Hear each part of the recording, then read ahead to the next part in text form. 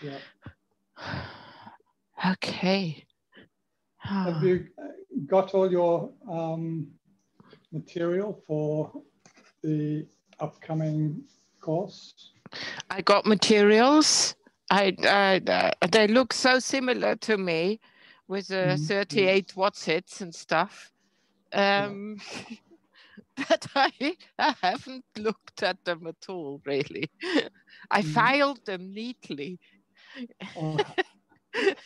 Yeah, almost. It's obviously know, a lot of old ground, you know, Mm. uh, we by this time probably covered repetitively.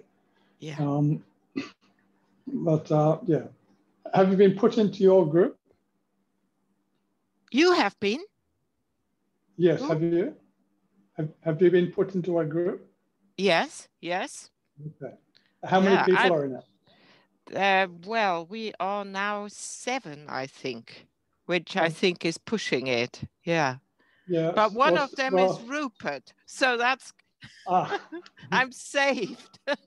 you got you, you got the short straw, did you? Yeah. well, we won't tell him that. Oh no, because, well, just as well it's not recorded. Yeah.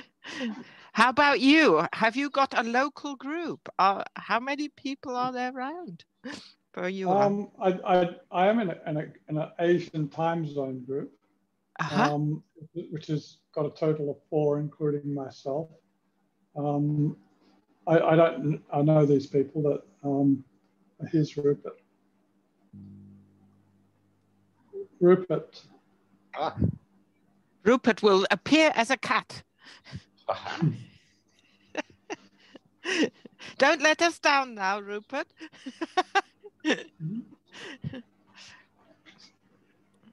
Mm. Oh, yeah, I was just saying about uh, the groups we've been put into. And uh, I Ah, was just saying that saying that you got the short straw by getting Elfie in your group. What is he like? Okay. He's so oh, rude. Gary. So rude. I know where it's from. Oh. It's a backlash from mm-hmm. calling him a friend. He's spooked.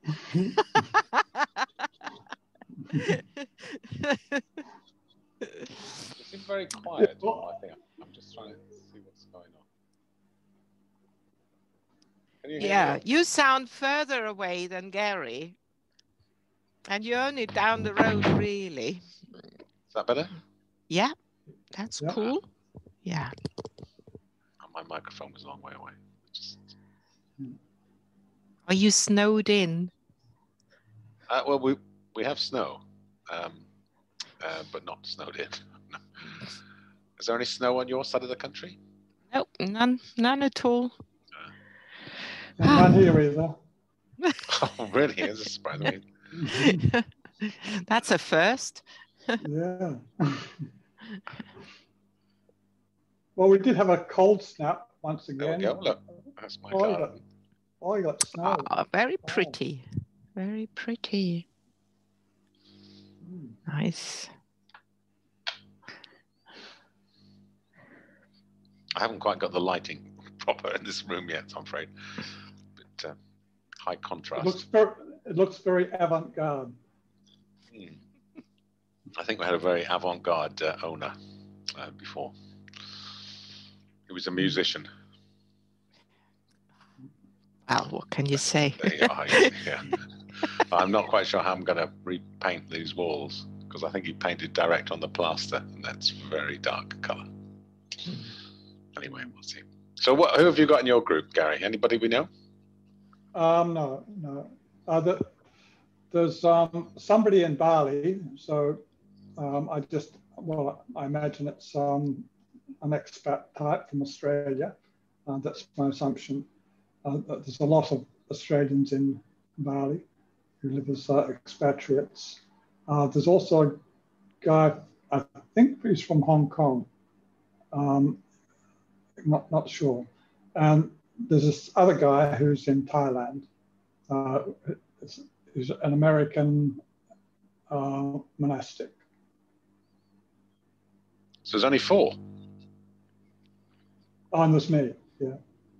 Ah, so maybe they you've so you can organise your time to be more um, appropriate for you more? Yes, so obviously we'll be meeting at times which are suitable for this area Mm. of the world. Right. Well, that's, oh, that's cool, good. isn't it? Yeah. Otherwise, yeah, you'd be and all new night. people to meet. Yeah. Well, yes, I'm, I'm a bit. Uh, I do have some trepidations. Um, yeah. Well, you're not alone. I- no. I've lived in Asia, Asia for a long time, and you know, you, you do get to to um, stereotype certain types of foreigners who come here, and uh, I do tend to, to find myself doing that. Uh, Mhm. Is that a reaction? oh, it's it's all reactive. Oh yes, totally. totally. Uh, when, when I, s- when I s- I- I've got a well, just for an example, just to, uh, you know, I've, I've, there's probably two prejudices at work here. Uh, Mhm. But the first prejudice is against um, uh, foreigners living in Bali. You know, I, Anyone? I actually, I actually own a, a, a villa in Bali, and I haven't been to it in five years. I just really don't like the place, despite having property and stuff. You know, now it's- you're it's, saying. well, well, I've got a business there as well. I've got a branch office, of course. So that, that was the reason for it. But uh, you know, I had intended to go there occasionally, but you know, uh, yeah, it just wasn't my scene at all. Um, There's lots of uh, foreigners living in, in in the south. Uh, it's just a rather a rank uh, tourist culture. It's just not not uh, just not my place at all. Uh, but anyway, so, so that's prejudice number one, you know, what we call bules or, or white people who live in, in, in Bali. So I've got that first negative reactivity. I haven't met the guy, of course. I'm just completely Just generalization. That's fine. Yeah. react, a reactive judgment. Um, and of course, my second reactive judgment, is probably even worse, is um, this guy. He's he's uh, he is a monastic. He, he, I think he actually runs some sort of temple there, um, and or, or runs some sort of thing, uh, you know, monastic type thing. And he runs courses for Westerners, sort of um, I don't know. I mean, I, I I guess perhaps I, I'm thinking that I've sort of grown out of that rather long time ago. Um, you know, cosplay and uh, and Orientalism and, and that sort of thing. So here, so here I am bringing all these sort of uh, negative prejudices into the group. So, and I'll, I'll probably make them come true just by believing it. So. So I, I've really got to work on giving people a go, and uh, it's going to take some effort. Yeah, I wish them luck too with you in the group. You know? Well, yeah, they, they, they set could also eyes on you Yeah, and they, say, could, they could argue. "What's this hippie here?" Yeah. Why did we have to have him? Why couldn't he go? Yeah, and another time. Oh. Yeah. Well- but you know, it's, not, but you know, that, that's to be expected. I mean, I mean, but you know, I guess we're not going to get you know Orient, Orientalist um, monastics from you know in Europe. I'm, I'm guessing that there's probably not going to be uh, any there who, who follow the course. Um, but anyway, um, It'll be interesting to know why he he's on a secular Buddhist course. Mm, mm, yeah, yeah. I was had the same notion. Yeah. Mhm.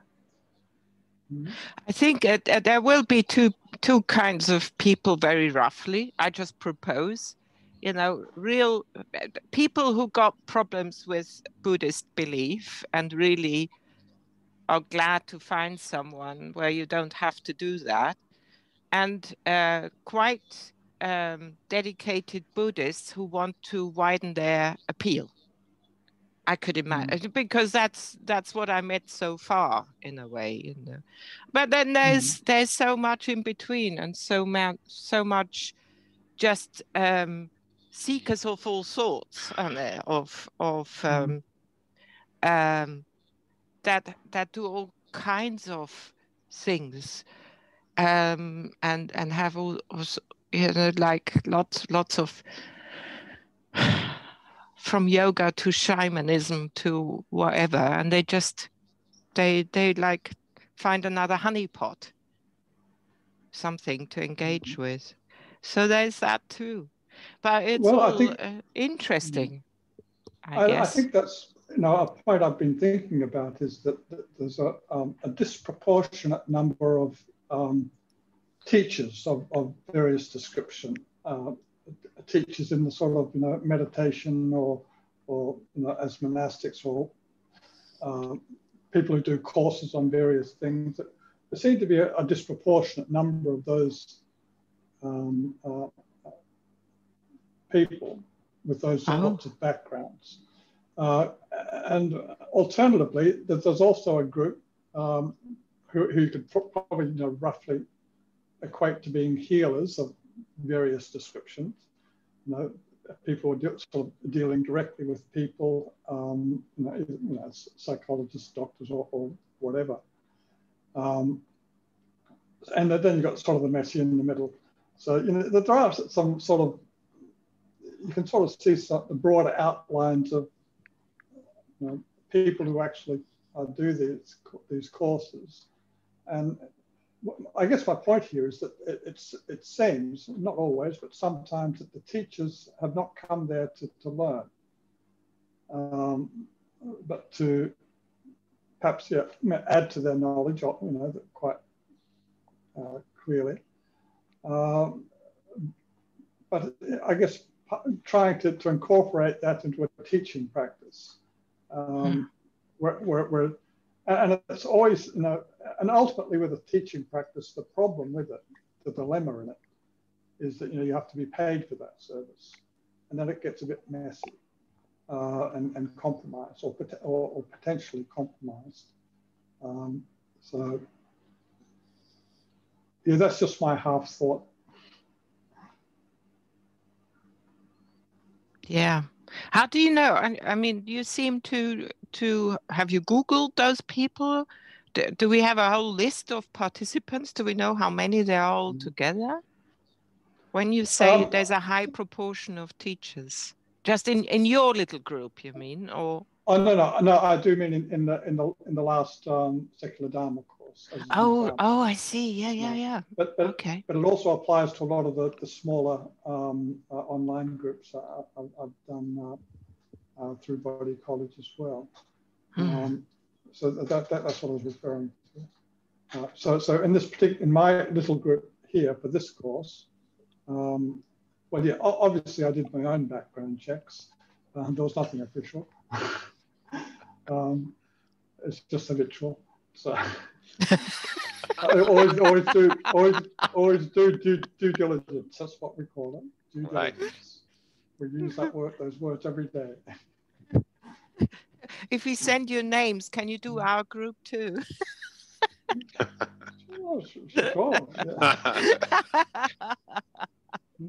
Find them on the dark web as Bitcoin traders. oh my goodness. Mm. I, I'd, I think um, I, I have to see it as a reciprocal thing, you know. It's also like a, um, it's it's for me, but it's also for Stephen and uh, everyone else is invited in, because I I think uh, Stephen and I need dialogue about it. Really, I, I mean, when I just look at our group, you know, it's just been so um, inspiring and and um, um, you know hugely beneficial for me personally, and and way beyond what the course was. You know, because the the the uh, the joy in the dialoguing and the inspiration and that that uh, that effortless motivation that it gives me to study this or look into that you know you send ideas and i just follow it that is effortless motivation for me and why would i not engage with it that would be for me senseless you mm. know when it's so because um, with lots of other things, uh, it just takes more effort to engage with it. And um, so I, I, am really a strong believer to when it when it just uh, you know my my neurons just they they don't need to quarrel about is that important do I really need to do that now um, it they just take me and and that I I love that effortlessness mm-hmm. in it that only comes mm-hmm. with dialogue and if there's you know just a a couple more people who are doing it for me in that course, then that's great. And uh, mm-hmm. just a regular engagement with with the course, we see what that works, and it'd be interesting if it works or not. If it's completely frustrating, mm-hmm. because there's 270 mm-hmm. of us sitting there, you know, never mm-hmm. obviously saying a word back other than to ourselves under our breath. Mm-hmm. Um, and um, but it's good for Stephen too. He needs the dialogue to to uh, get his ideas going, mm-hmm. um, and um, and and that's a good thing. You know, he's not writing a new book. I think last time we saw him, he really didn't know where mm-hmm. where he would go, what his next thing mm-hmm. would be, and there is uh, a mention of a of the next thing, which I think is that that speaks to me that it that it had something to do with our course because we talked about that complexity and about what that that that that, that got clearer there that it is more about the questions and the answers and so he I find that working book title that he has really interesting. Mm-hmm. And, and then, then he will talk more about that than about his last book, if you ask. That mm-hmm. would be my expectation because he's like that. He doesn't yeah. like old ground either. yeah. What, what is his new book called? Uh, what is uh, it called? Uh, the Ethics Beyond. of. Et, no, Ethics of. Uh, com- is it complexity? Um, no. Um, ethics of? Um, oh, what is it? Something to do with situational ethics, whatever that title is, yeah. Um, no, it's definitely an ethics. Yeah. An, an um, ethics of uncertainty, I think. Uncertainty, that's it. Yeah. Yeah.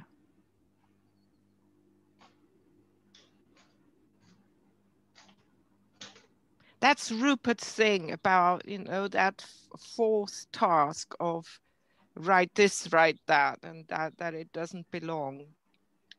Um, which I and I will always hold on to because it's a it's a very right thing that you that you introduced, Rupert. So that, that would go against this, you know, it's uncertain. As soon as you introduce certainties, the whole thing goes wonky um, and he has to do away with that last oh, yeah, yeah. fourth step. The, the, the paths have to go. I, I do you know it was a very good idea to transform the truth into truth into tasks but that fourth one is has survived and it shouldn't have well he's it, it, in his in the workbook um, he, he changed he's well not changed but the path, eight things, the eightfold path, virtues, perspective, imagination, application, mindfulness, focus, voice, work, survival. And some of those were things that he used on the last course, because uh, I remember he used application instead of effort. And he's used work instead of um, appropriate uh, uh, livelihood. Livelihood, that's the one. Yeah, yeah. and then yeah. he used survival instead of something, and I can't remember what it was. Was it the the last one? But he looked like he's used perspective instead of vision, and imagination instead of understanding. Mindfulness is still mindfulness. Voice is still voice or whatever it was before, appropriate Speech. speech. Our focus must be can't remember, but he so he's he's, he's still got them, um, and this is in there's so many numbers that I have. So in the in the thing, he's got 32 dimensions of awakening, and then one, two, three, and and they're separated into the one has got five things in it. Uh, anyway, it's too complicated. Lots of numbers and lots of things. But in the last one, there are eight. And it says eightfold path and it says virtues. So I'm I'm guessing it's still it's still there, but under a different interpretation. Have you read the workbook? Of course not. First thing I did, go read read all this because I'm very impressed that you have. no, well, of course. Look, I'm paying for this. Um, and this is an an essay he wrote, secular Buddhism. I think it's the first time he talks about secular Buddhism. He said in 2012, and I'd not read it before, so it's an essay published somewhere, and it's quite interesting because it goes into goes into the normal stuff which we know about about Pali Canon, going back to the source material, and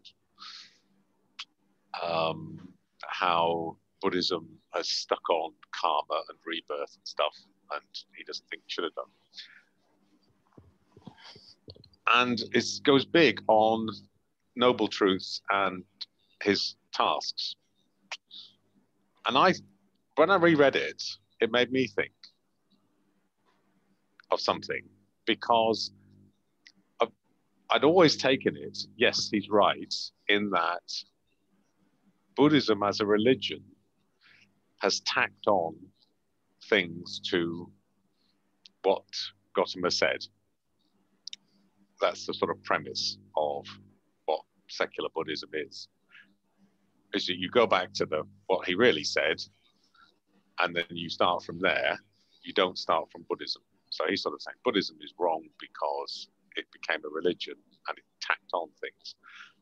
It, specifically, it tacked on karma and rebirth. But then I was thinking about something else, and it occurred to me that, and, and noble truths, that's a big deal because the word truth. Why?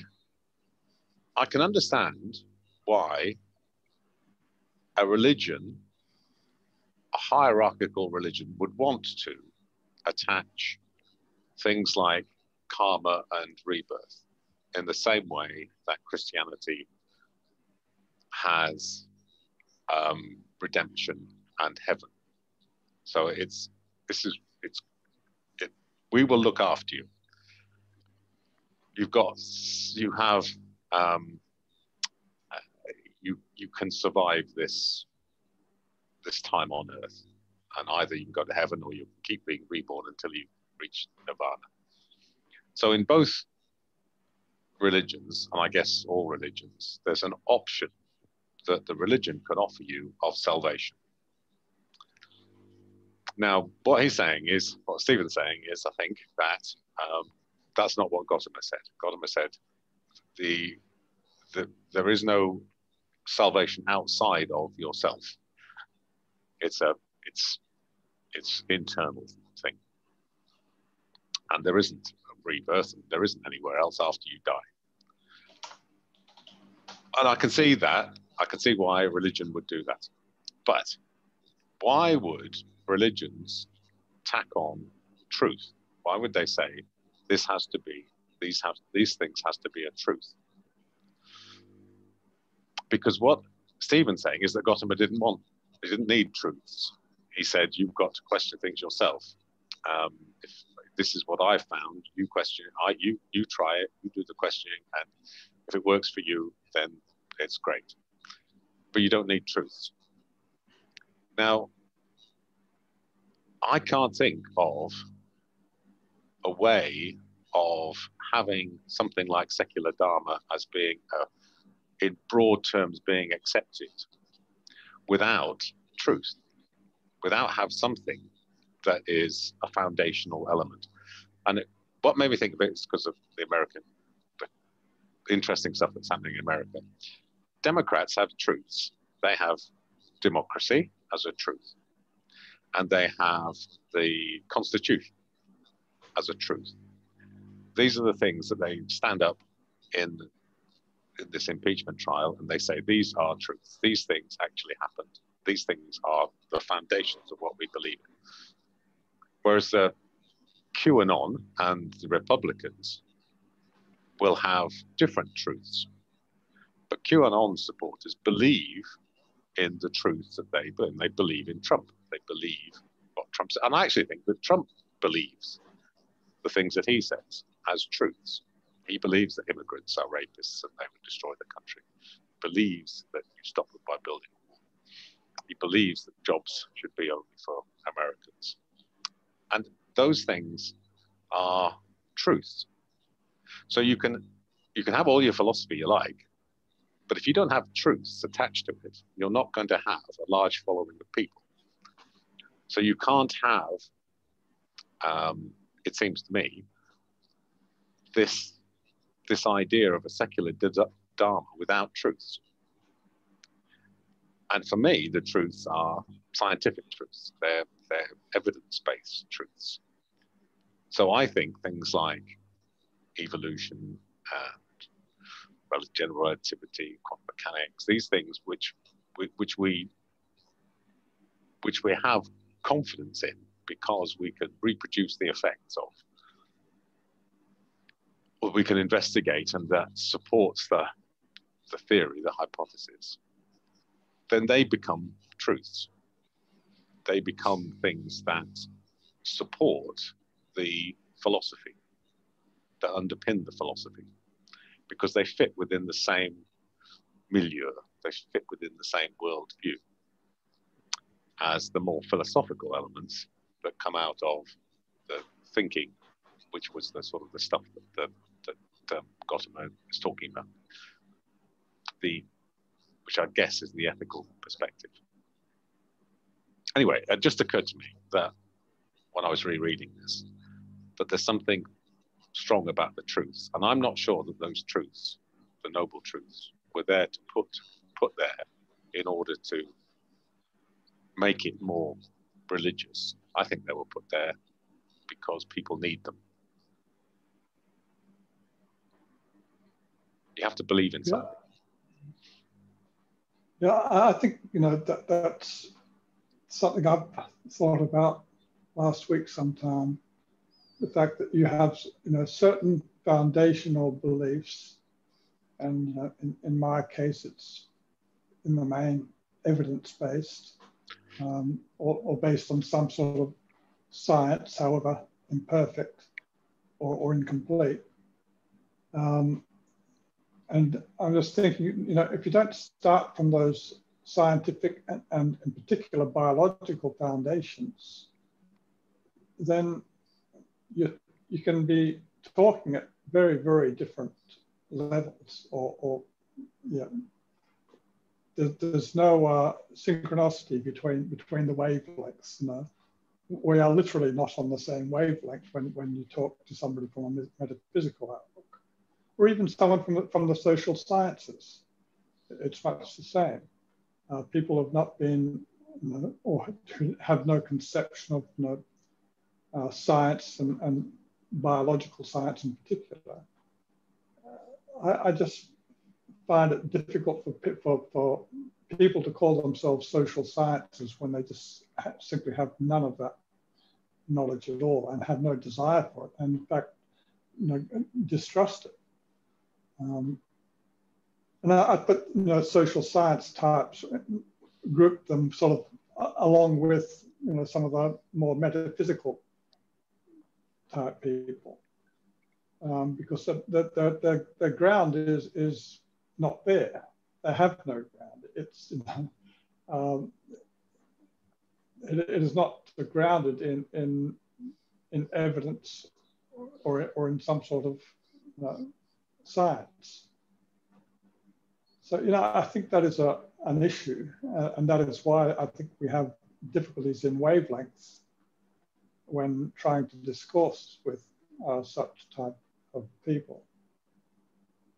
Yeah, I, I think you're right, and it's there is this sort of postmodern approach to the social studies, which is there is just a distrust of science, a, which I'm not quite sure where where it's come from, but it, but I, I think you're right, and it does make life difficult, and maybe that because that's quite a strong element in our society. I don't know whether that's a good thing or a bad thing to have people with very different sort of outlooks, but it's a bit it's a bit strange. I've always have found it odd there is a, a strong reluctance to accept rationality within people in this some people. In fact, probably quite a lot in social sciences. Distrust of science, which is a bit weird, isn't it? Well, uh, I think that the problem is that it's been conflated. You know, many people confuse uh, you know, individual scientists as being science. Um, you know, yeah. whereas you know, yeah. and, and obviously there's always conflict within science. That's part of the process, and uh, and so you know, I guess it, uh, it's more a matter of people distrusting the the noise that science makes rather yeah, than trusting in the process of science and and and uh, the, the principle of being, yeah. Uh, being it's, you're right. It's, it's, down to definition again. It's just that it's a yeah. It's just the word, isn't it? It's if you think of the word as being what we think of it as, as you say, a process. Mm, yeah. Then it's it cannot really be a problem because it's a process. If you think of it as a thing,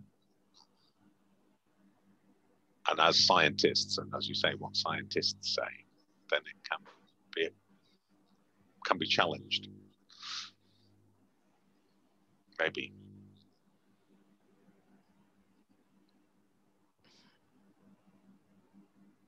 I don't know. Isn't science just another way of uh, ordering things?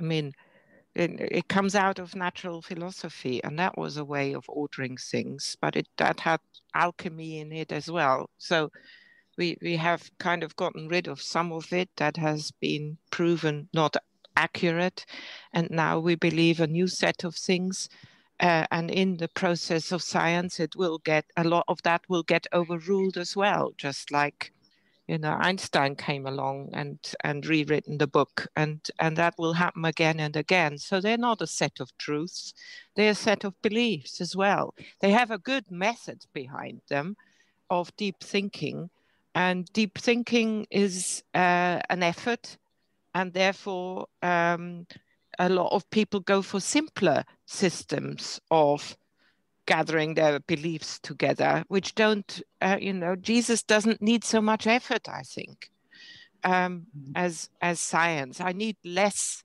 precursor, you know, the material to to be able to talk about it. I can just um, come with a few standard phrases and be an expert. Whereas uh, if you want to be a scientist in anything now, my goodness, it's quite complicated. I think that makes it less attractive. And um, and as as a method um, of finding things, uh, it's it's as old as as humankind. It's not a new thing. Um, and it has always only attracted a few, and and more people are engaged in just another way of ordering things, which has you know comes a little easier, following things uh, I don't need so much uh, hard thinking. I just go to the temple and um, and and um, slit a cow's throat or something. You know that is. Well, yeah. On the other hand, you have theology, and all religions have theology, and they have theologians, and those the- theologians would be the, in inverted commas, the the scientists, the, the thinkers, the, the, the deep thinkers and explorers of the ideas behind the religion. So, whilst you might have followers who would just say, well, that's okay, I'll accept what these theologians have come up with. It doesn't mean to say that the religion itself can't suggest that it has a, a more complex underpinning. Whether it does or not is another thing. But I think you can have hierarchies of uh, academia within the religions in the Hmm. similar way Yeah. within science. So it, you, we, you don't have to, most of us are not scientists. I'm not a scientist, but I accept the science because I, I suspect that if I could learn and do the same experiments, I would come to the same Yeah. outcomes. But that's a belief. Uh, it's it's having confidence in something. Yeah. It's having confidence Did- that, it, that I I think what's getting clear there is I mean uh, that there are no truths other than uh, purposeful truths, and we all believe, you know, that and and that makes it uh, a bel that that's close to belief. So our what what looks to us as a truth um, is is our truth, very personal, and comes with a purpose.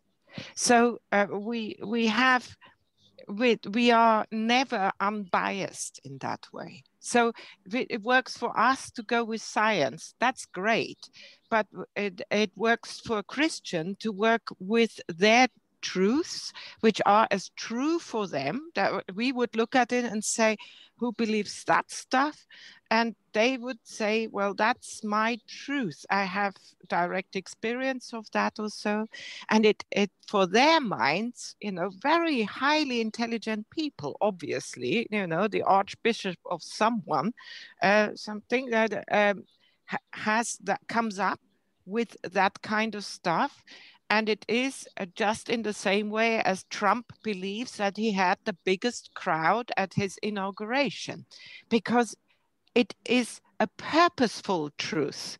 It, he doesn't need numbers for that. It comes directly out i'm the greatest and the people believe in me the strongest. It follows that i had the biggest crowd. That is a truth because of a there's a purpose behind it and and and not it doesn't need anything else. It doesn't need anyone counting or pictures or anything like that. And he would die saying that you know and will probably. And no one will um, be able to convince him otherwise because it's it is a truth for him because it got that purpose. I think that is so for any truth and and it doesn't matter if we say yeah but we got the better truth because we're scientists uh, then in comes the next person I- I- who believes in in Mohammed and has the better truth. I, I I see what you're saying. I just I I don't accept the argument though, Hmm. and and there's a num- number of reasons why. Um, but let's to start with, if you took other Republican senators, at the moment, 45 out of 50 of them, or 44 of them, will say that Trump is true. What Trump did is true, or is right. Trump is right. That the, the truth lies with Trump if Trump disappears and public opinion changes and they're more likely to be elected if they reject Trump, then they will will will, will they will reject that truth. So their truth is, I would yes, is purposeful. It is it depends on their purpose, which is to get re-elected. I don't think that's the same as a, a scientist, a physicist a physicist might believe in string theory, but if they're a decent scientist, they would also accept that they might well be wrong and that they will change when there is evidence presented. But they will only change when there's evidence presented, not to do with what their career. Now, I, I know that there are some scientists, there's lots of us, who stick to things without moving. But there are, there, that's not everybody. And that's not what being a scientist is. And there are lots of scientists, it seems to me, sort of presume they're telling the truth. And some do. I mean, you can actually read that people have changed their minds. And clearly, lots of people did change their minds when, for instance, there was you know, Einstein presented a new. Um, it didn't take long for the scientific community to accept evidence-based uh, presumptions, or even in that case, wasn't even evidence initially. It was just uh, a mathematical um, presentation of information. It wasn't evidence until later. But people did believe it and did change their opinions based on the evidence, not based on their careers. So I'm not sure that it's the same that for the truths in religion or in Trumpism are the same as as I, I mean I'd like you have a big trouble with the word truth, but but it's it's not necessarily that truths are are, are that flexible and based only on what you want them to be. Not for. Uh, then uh, for me, you know, you don't take the science in. The neuroscience would, I think, argue that uh, the amount of our bias in that way is it is just absolute. You know, whenever you look at it, we clearly are under its influence. We don't know, and it is absolutely impossible to be truly you know neutral in that way. It's we are not built like that. That's not good for survival and therefore that faculty has just not developed. So uh, I, um, I think there are many many more including in science uh, purposeful truths than uh, than a questioning mind i think our that's what it is our only safe haven is a questioning mind you know, it's uh, someone who says, I'm not sure. An ethics of uncertainty goes that way. Um, uh, uh, an ethics of complexity would do it the same and say, well, that's my working hypothesis, make me a good argument. And, and to stay open like that is all we can muster. And there's a few people in the world who are willing to do that. But the majority would just rather follow a truth. If you look into it, it will be one with purpose uh, because that's how we are built. I think you know, we, and and so even if you try to stay open, there will be many more purposeful truths in my mind than um, then uh, my little bit of choice that I kind of chisel out of that rock, which is uncertainty and complexity. And I probably am totally wrong, like now. that is my tiny little saving grace, like, you know, that mm-hmm. bit of choice where I can say, and probably I'm talking total rubbish. so you you may say that now. well, well, that's, no. that's all all very well for, for Elfie to say. But if, if, if, if Elfie was the president of the United States with her finger on all the nuclear buttons, um, and she started believing in, in her truths, which you know involved, I don't know, you name it, you know, goblins, elves, and fairies, mm. um, which they may do. I'm not saying anything against that.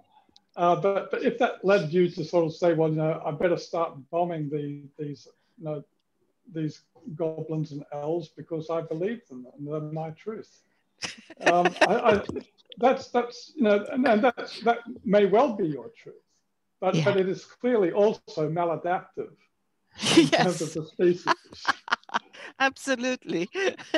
and if you voted for me, you're mad. exactly. Well, they could may well be mad. They may, may well have bought into that belief system. And, and so, yeah. So, you know, I, I, mean, I sort of believe also, I mean, science is, is, is a belief. It's a belief that certain people have undertaken you know, certain ways of thinking and certain experiments have come to certain conclusions. And I base my you know, I, I, trust them to sort of uh, use a, a, scientific method in order to, to advance uh, our knowledge.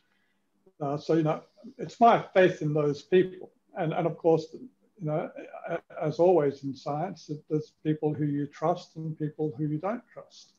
uh, but, but the process of science is still the same. Uh, it doesn't arrive at truth, but it, but it advances knowledge um, mm. of, of, the, of the nature of the world. And mm. so, so when, when a certain uh, you know, group of, of uh, you know, uh, people who have faith in, in science come up, up against uh, a group of people who, who believe in, in various goblins and elves, um, what do you do? Uh, do you sit by and say, oh, well, that's all cool, you know, we're all different and all that? Um, where, where you know you know that you know the path that this particular belief is going to take you is, not going to be a good place.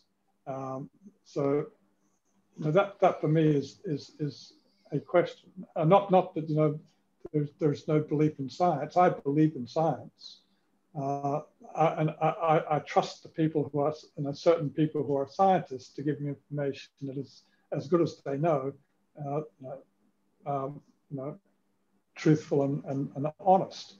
Um, but you know, you're not, you're not. The, the majority of the world is not like that. People want simplicity. They want something, mm. you know, very simple to hang their hat on, so they can just get on with their lives and you know, uh, you know do whatever they do with their lives uh, and uh, they're not really concerned that you know what they believe might be complete garbage, or they might know it's complete garbage but don't care anyway, uh, as long as it gets them where they want to go, which you know, who knows where that is.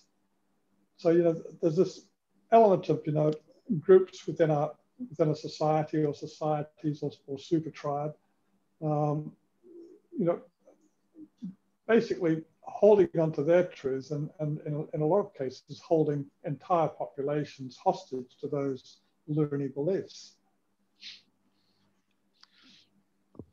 Yeah, I, I agree with. I well, I, I sort of understand what, what both of you are saying, but I, I do think I'm. I, I guess my point was that if secular dharma is to become more mainstream, then it has to have associated with it of a, a worldview. Now we can call those truths or not. It, it's it, it's there's something that is acceptable and in and I think it needs to be in our current world, it needs to be something which is which for which we can produce evidence. We can show that this is as close as we understand things as the way things are at the moment. So God didn't create the world. He didn't make the trees or the sheep or the squirrels. Those came about from a different process. And if you if you can associate that process with a philosophical and ethical approach, then I think it would have more traction. It would become more attractive than something which at the moment seems to me has only a philosophical and ethical base. So if our idea is that we want something like secular Dharma to be broadly um, uh, disseminated, I don't think. What I think my initial point was I don't. I can't see how that can happen unless it has truths in inverted commas associated with it maybe the word truth is just too loaded, but it's that it, it should be associated with a worldview. And one of the things Stephen, I think, as I recall, often said that it didn't, that the, the nature of how things are is not important in what Gotama was saying. It's how we act that was important. And I'm not sure that you can have how we act separate from how things are and want people to accept it and embrace it.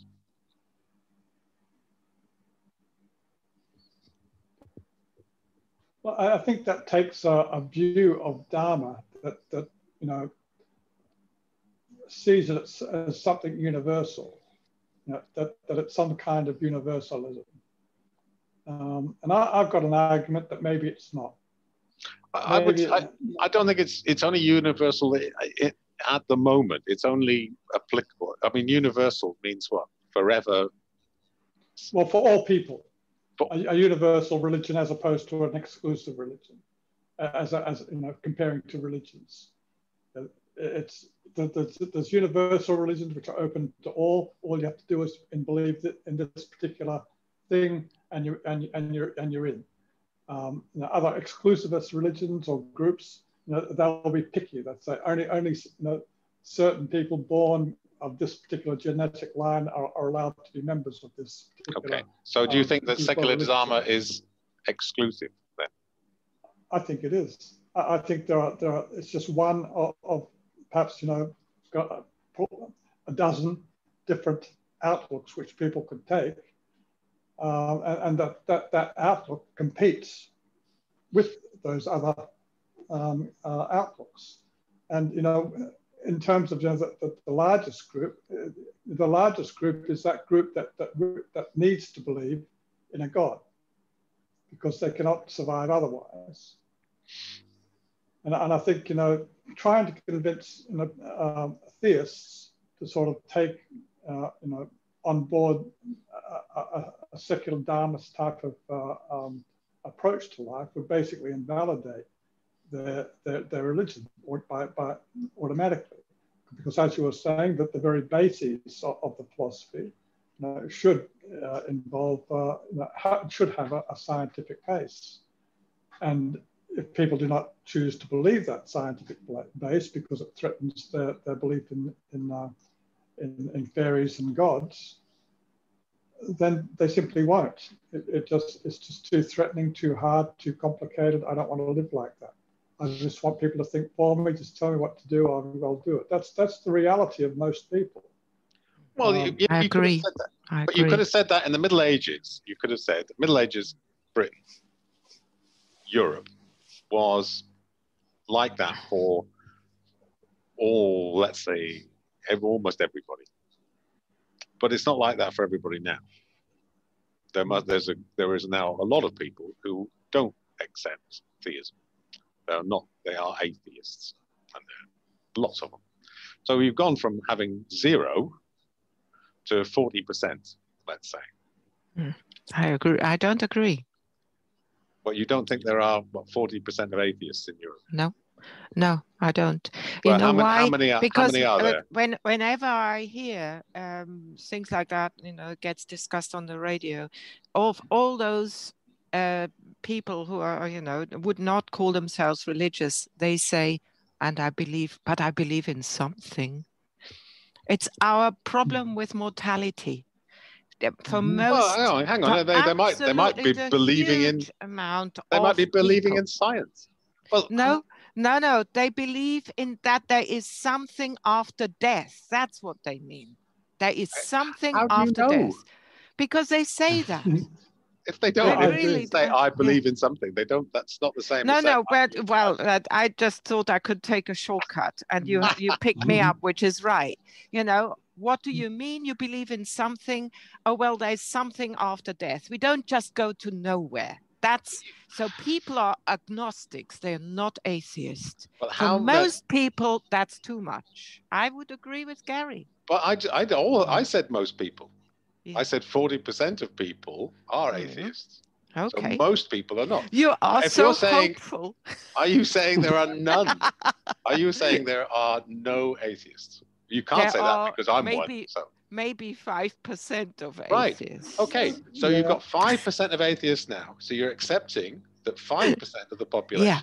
Yeah. Yeah. And yet, in the Middle Ages, let's say 500 years, there were none. I don't Oh, know. Zero percent. there? Ah, there are. They were Yeah. though.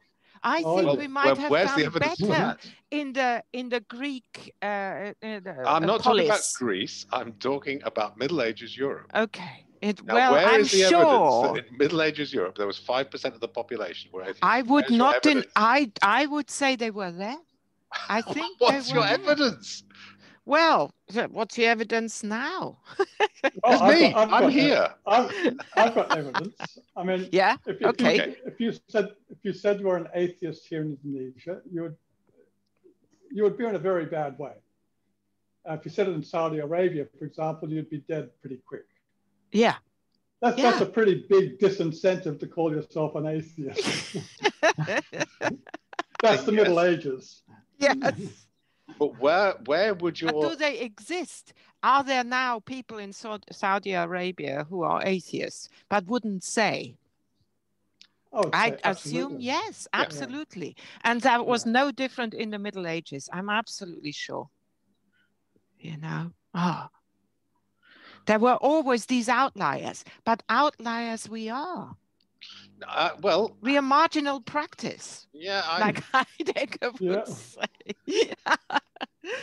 um, really, well, I do think so. Oh, okay, you go, you go. yeah, you- I, look the, the reason people are atheists is because well why why would somebody be an atheist why would somebody in the middle ages be atheist Because it's possible to think like that. how It How- is what, possible what- to what think is your like that. evidence in the middle ages to base it on Okay, I don't know. I have to be an agnostic about the agnostics in the Middle Ages. How could I you? what- I- on what on what worldview is it presented in the Middle Ages that allows you that, that from which you could develop an atheist outlook? um, This is prior to the Renaissance. Yeah.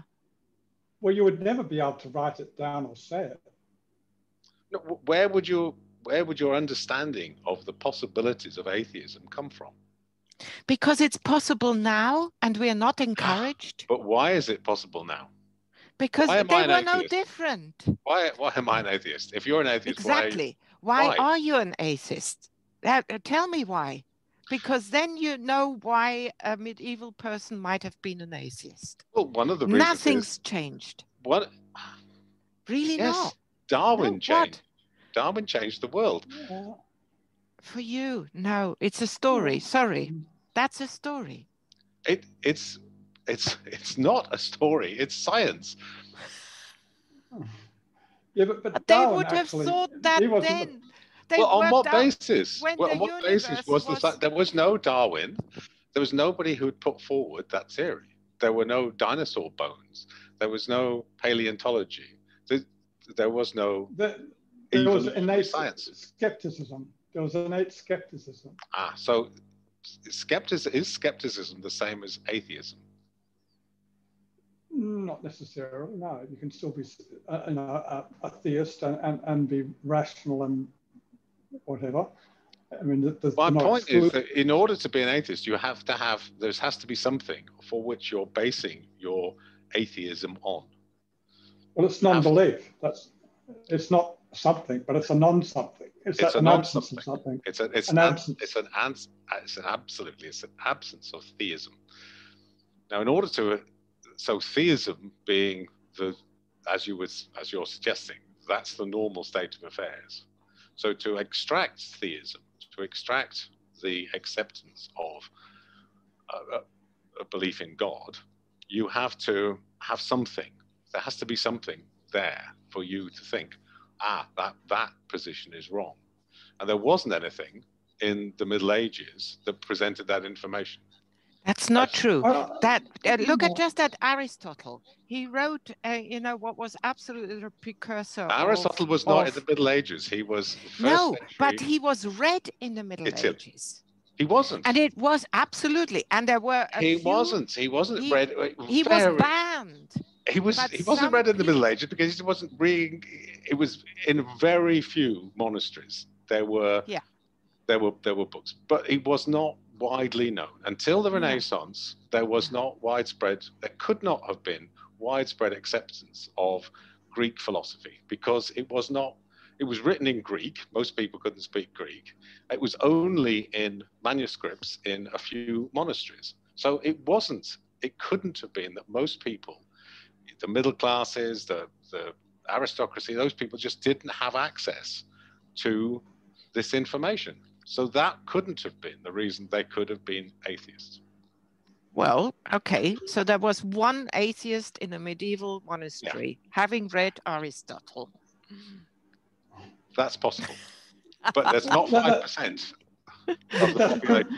I, I think you're, you're privileging privileging text and giving text a privilege that i- i- is probably exaggerated. Uh, because, you know, Wow. people, most people haven't really read throughout history. They don't read text. They, they, you know, hear stories or make things up or, or you know, make their own sort of uh, constructions of uh, of reality. Um, and I mean, they can see reality all around. They can see an animal being born. They can see it, grow. They can sort of get old and, and whatever and give birth.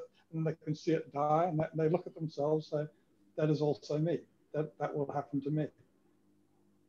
So, you know, the, the, the notion of, you know, birth and death is, is was, would be all around you, certainly in the Middle Ages, in an agrarian type of uh, environment. Uh, your life and death would be staring in the face nearly every day. Um, so, you know, I don't think it takes text or, or access to, to uh, ancient philosophers uh, um, to, to, to realize that, you know, maybe all this uh, God malarkey is, is uh, just, just stories that people made up. I think that's a pretty easy conclusion for, for many people of you know, average intelligence to make if they chose. So what you're saying that is that most people weren't theists. Oh, I'd say most people were theists. The great majority, I would say. Or not, not the great. I mean, if I was to throw a figure out, I'd say you know, 60 to 70 percent would be theists in some in some manner. You know, um, and, and that you know, people who are atheists, um, you know, would, are definitely a minority. Uh, truth, truth, uh, atheists. Uh, I, I think because it's too scary to be anything else.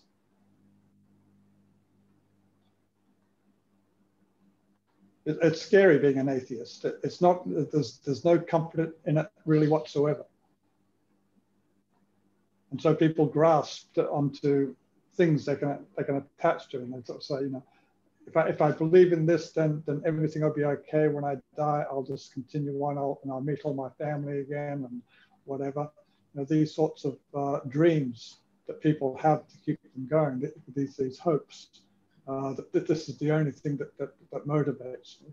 And so, so a belief in an afterlife, I mean, that, that's what the vast majority of uh, cannon fodder in, in, in, the wars of history, that's what they believed in. They believed that, well, know, yeah. that obviously forced, forced as well, uh, but, but, you know, there was also this you know, belief in an afterlife, that, you know, we can die gloriously on the, on the field of battle and we shall sort of, you know, go to Valhalla and all this sort of sort of stuff. And it's a consolation to believe, to hope that maybe, even if you know, even if they don't really believe it, know, that, that, that they make themselves believe it yeah. uh, to, to, to cut to comfort themselves because the reality is is too much. But aren't you suggesting that thirty percent of people don't have that view? Always. I'd, you know, I'd say that you know, a true atheist, somebody just does not consider gods as being part of the real world, um, you know, would, would maybe five, ten percent, maybe. But they've always been there. Oh yeah, I think so. I think so. It's just a bit less visible in, in some in, in times like or well, depending on your time can, and place. It's not something we can prove either way, is it? So it would be interesting to try. well, like we can't since we can't go back in time, and there is mm. no evidence for it. There is no way. Mm.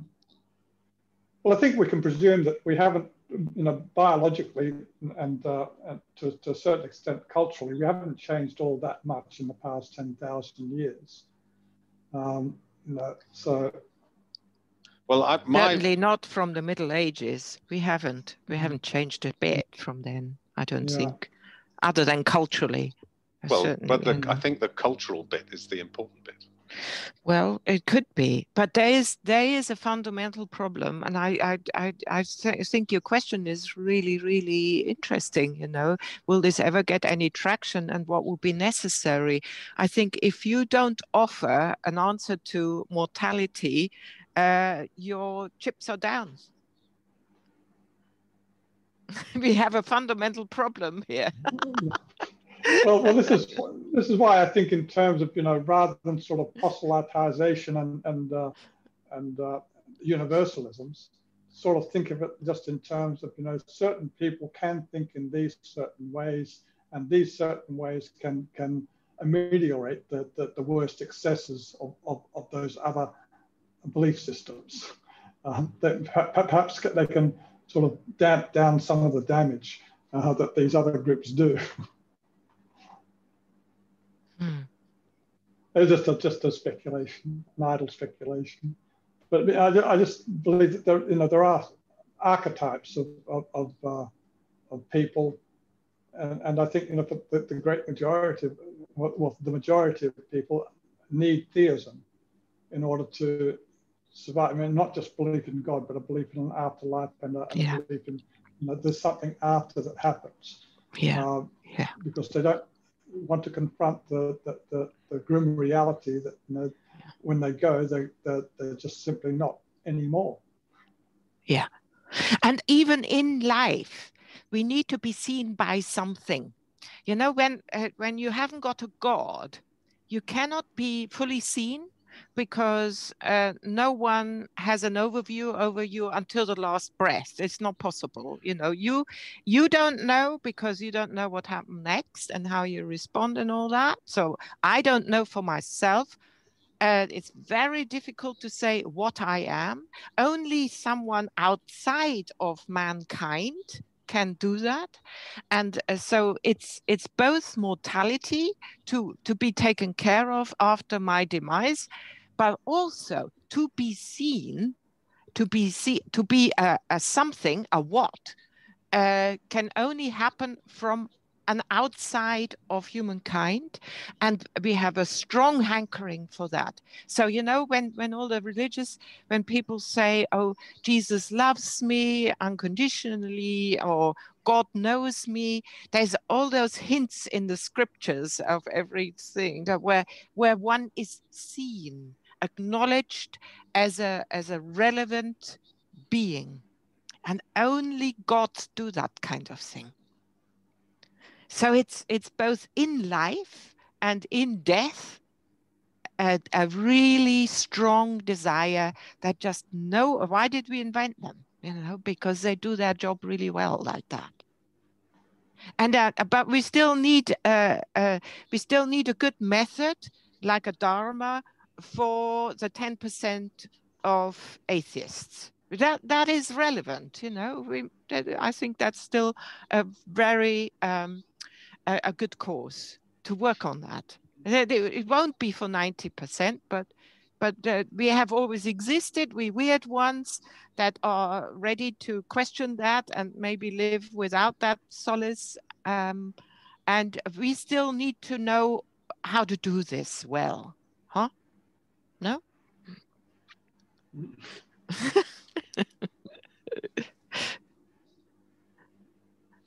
yeah, no, I'm by. Uh, mm. If we had just, if we take school education, for instance, and we said, this education we're going to give you is the best education we can think of. But we're only going to give it to 10% of you because the rest of you, it's really not worth our while trying. Now, that isn't a an approach that most people would accept. I think that's true, and and that, which which means that you know the, the techniques and and uh, things that, that a dharmic might do can also be be done by by anybody, which they can be, they can be taught. It doesn't mean it's completely useless not to teach dharma to people who are theists. Uh, it can still be, you know, partly or fully engaged in, in some some manner, I think. Um, so you know, I don't think it, it means ignoring a general education of a, of a dharmic outlook that might be. Um, uh, but there is there is an assumption here that, that only ten percent of people will be receptive to it, and I'm I, I think and you're so and if yeah. if that's the case, well, why bother? Why bother with the other ninety well, percent? Now you know that in from a from an educational perspective, that's a, it's not a it's not a reasonable standpoint, is it? Oh, that's because you're thinking universal. That, that's a universal. That you think we, we will make this thing universal. Everybody will think the same. And no, no, no. That's not what education does, is it? That's not. You're not going to say everybody's going to think the same. What you're saying is, I will present you the opportunity. Yeah. Now, but but if you're saying, well, I've presented the opportunity, but 90% of you aren't going to get it. Oh, no, I, I, I, I think, that's an odd. No. I, I I don't accept that premise. I think is what I'm really well, saying. I don't think well, this is back... exclusivity to only 10% mm. of the hmm. population have got the potential to benefit from they, this. I, I, I, just don't think that's I don't think that's that's that's right. Because and I, I think that the, the I think that the things have changed over time. I think that a lot of people think in a in a way that they would not have thought without the development of cultures over time, primarily science and, and rational, the presentation of rational thought. And, and I don't think rational thought is something that is of, you know, it came as a byproduct, as an accident of evolution. Uh, but, it, but some people have used that not because it's there as uh, for everybody as a sort of survival tactic, but because it gives you other opportunities. So in a way, they're sort of it's non-evolutionary. It's not there for survival. It gives you other potential, and you don't have to use it, but you can. And I think through education, more people have been using it and have got benefits from it. And I think that that changes over time. And I think that there's evidence that it changes over time. So I don't think it's the same as it was in a time when there was less opportunity for people to study rational thought processes and the and the outcomes of them. But I'm quite happy to accept I might well be wrong. But that's just how I'll, I. I'll, I'll, I'll accept that.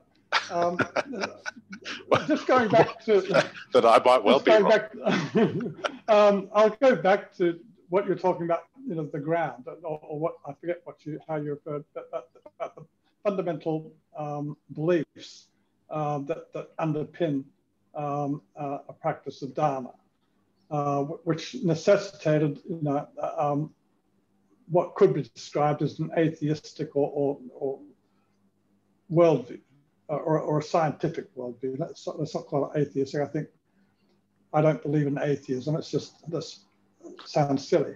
Um, so, so basically, a scientific world, worldview that sort of has established certain things that are known and uh, certain other things which are uh, as yet unknown.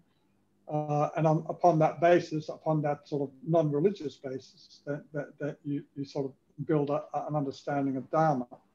So the question is, how do you do that with a, with a theistic person? It doesn't, you know, it, it, doesn't mean that they can't be influenced by, by dharmic ways of thinking or even to, to a large extent practice dharmic practices. Uh, but it does mean the ground on which they, that they base their practice is, is uh, theistic and, and therefore probably, in my mind at least, uh, incomplete. Yeah, I, I, I, I, I think you're. I, I agree absolutely. Um, and and there is no completeness, is there? I mean, there's no. This is there's no rightness to this. There's no. All I I think all of what my interest was is that, as I said before, you know, if if if this is something of value, it's difficult for it to develop, perhaps without some truths, without some worldview. And maybe that's not important. Maybe it doesn't want to develop further. Maybe it will always be a niche, and maybe that's that's fine. I think it's, it's just fine. Yeah, I don't know really. I think that. Well, we'll put it this way: if you had a, a, a group of Trumpists and a, and a, group of Dharmics, would you want those Dharmics to try and influence those Trumpists in, in a direction that was perhaps less harmful and, and more adaptive to their continuing survival? To our continuing survival, yes, indeed. yes. yes, to my survival, I would like mm. them not to have, not to be Trumpists. Well, but I could you I, see Dharma as, as, an evolutionary adaptation to, to the circumstances? I, it's that's I think that's the point, isn't it? It's that it's not. Well, my I think what I'm saying is it's not evolutionary. It is, but it the facilities we have that have come through evolution allow us the potential to speed up that that survival and I, mm-hmm. but on the other hand it's actually made things much worse because if we hadn't had science or a, a rational thought process we wouldn't have got ourselves into the mess that we had we'd still be hunter-gatherers and we mm-hmm. would not have dis- been destroying the planet Correct. Yes. So. I think you you we're on a, we're on your trajectory already. I mean, if I because I, I, take that on board. If I, if I come from you know that's kind of Heidegger language. We have we have made this world for a good many people in this world. It makes completely sense uh, to to be have a god in the world, but there was a margin, there's a marginal practice of maybe 10% who are not theists, who think there is no God. So this is all we have.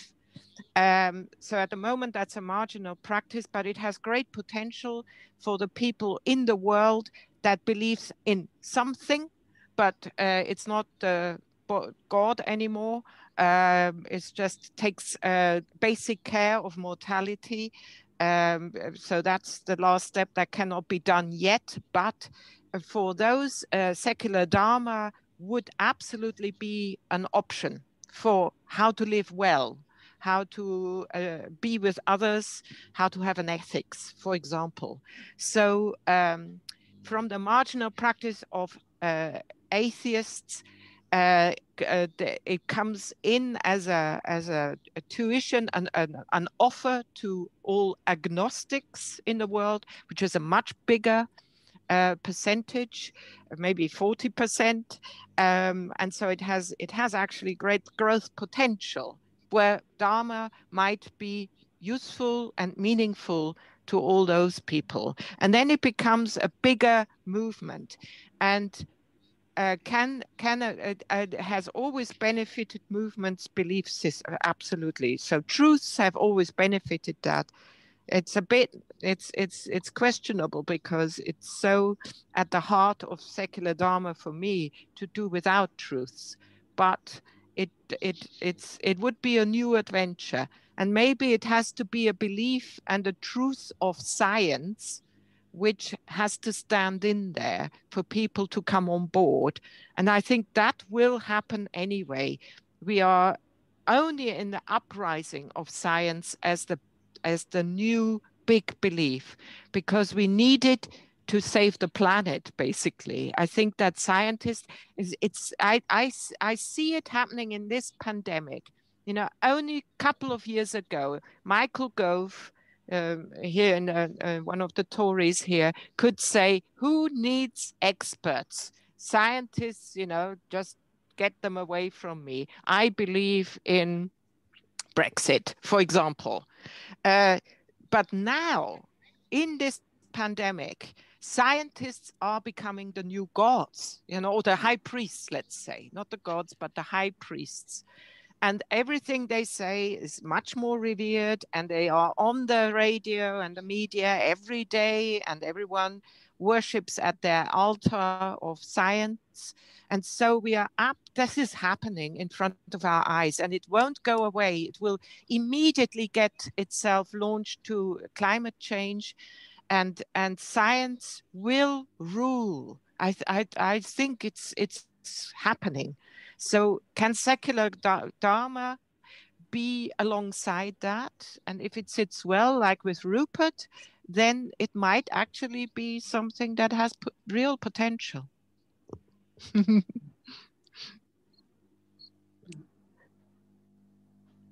well, that's a that's a that's a happy thought. that if climate change has this, this climate change scientists have, are as influential as as COVID scientists, as immunologists, that would be wonderful. I'm not. I'm not sure. I, I, have. I. I think it won't ever. You know, these these uh, scientific advisory panels that will stay. People will say, "What good evidence have you got?" We we are getting educated into science at the moment like no time before, and and uh, the scientists have a status like they had at no time before, where everyone is looking to them for our salvation. Yeah, it's true. That's true. That has never been like that before. It was always a specialist interest. Now it's about survival. That will stick. Well, I, I hope so.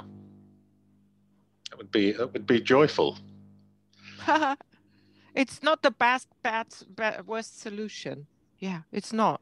No, I think it's it has a lot more going for it than the next um, uh, despot or you know um, because uh, usually there's a panel involved rather than one person and and and that's already good because then we discuss something in the in the public sphere the science comes with discussion uh, with with debate uh, rather than with pronouncing something and that surely is also politically an, a, a huge advantage, you know, because it's plural by its setup.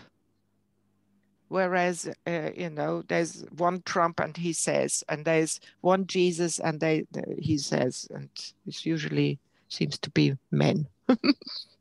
Mm-hmm. yeah. So it, I like the plurality of science and uh, it might get us back into a, a, a politics of debate meaningful debate, not just slamming others, but hey, well, I think that the evidence is more like this, more like that. And from, and then such a, a, far, a fast movement here from uh, what do science have to say about this? This is politics. It's now completely swapped into the other direction. Politics isn't allowed to state anything. And, and in this country, it's amazing in the media if you watch now politicians cannot say a thing anymore without getting walloped with science. it's just, just within a couple of years. This is the hmm. biggest change in cult culture that I have ever witnessed, certainly in my years. Well, and that's uh, wouldn't have thought that COVID had such a beneficial effect. It might be worth having. Hmm. Yeah. I'm going to have to go. Me too. Yeah. I've been called yeah. for dinner. I... It's been amazing. Yeah. Dinner. Mm. I haven't had breakfast yet. oh. Yeah. God, As always, a pleasure. And you're totally right. And I, I just, um, I bow to you. Okay. No, you're totally right. you speak the truth, Elfie. You and Gary speak the truth. Oh, no, I'm just here to learn. you're both wrong. oh, Gary, good luck okay. with your. With, with, yeah. Yes. Oh, hey. Oh, We have to meet, but then you have Yeah. to tell us about your group. You have to inform on your group. Mm, Yeah, Yeah. yeah, shall do. We want shall to do. know all the ghastliness. Yeah, I, you know, I've got to really temper myself and say, okay, breathe, breathe, no reactivity, you know. Yeah. all that. Okay. Yeah. Hey, Okay. let's see how it See is all then. next week. Yeah. But Yeah. we, we Well, might need a prep. Well, see you on Saturday. Yep. it's not. Is it this Saturday? It's this Saturday. Yes, Oh this my lord. Uh, Yes. yeah. Okay, we might Yeah. need to meet next week. We need all the lowdowns. Definitely need to meet next week. cool. Bye. Bye bye. See you then.